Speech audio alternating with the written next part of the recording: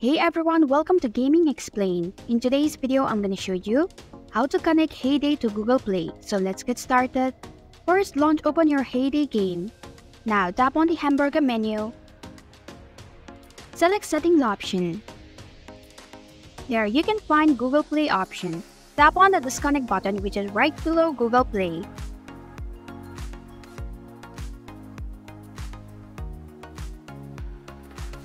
Now tap on the continue button.